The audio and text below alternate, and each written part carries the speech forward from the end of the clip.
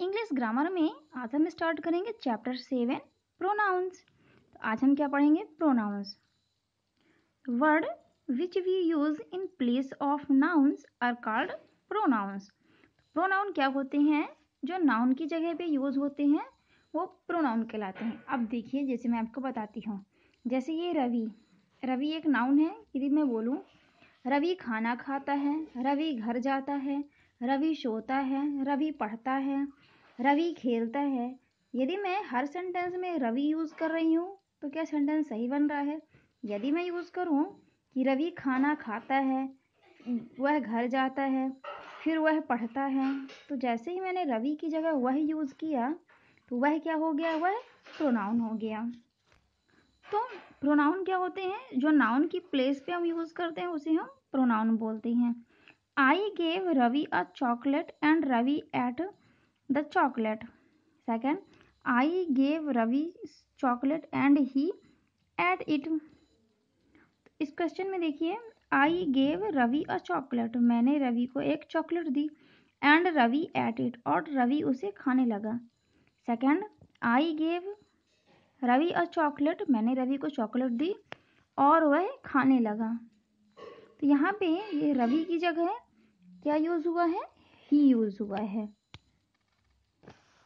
तो इस सेंटेंस में रवि की जगह ही यूज़ हुआ है।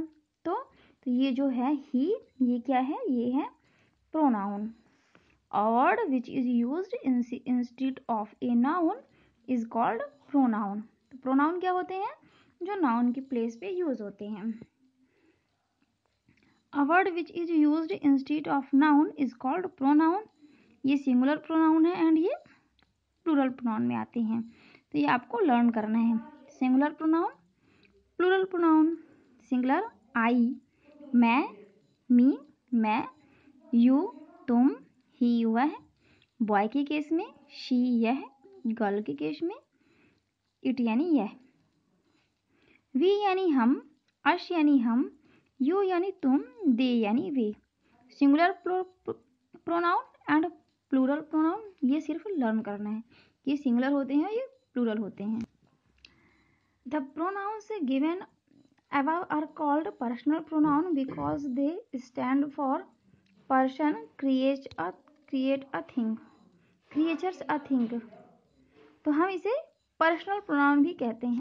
तो ये जो सिंगुलर प्रोनाउन है और ये जो प्लूरल प्रोनाउन है, ये, इसे हम पर्सनल प्रोनाउन भी कहते हैं। क्यों? क्योंकि ये पर्सन के केस में यूज़ होती है। कहाँ यूज़ होती है ये? पर्सन के केस में होती है।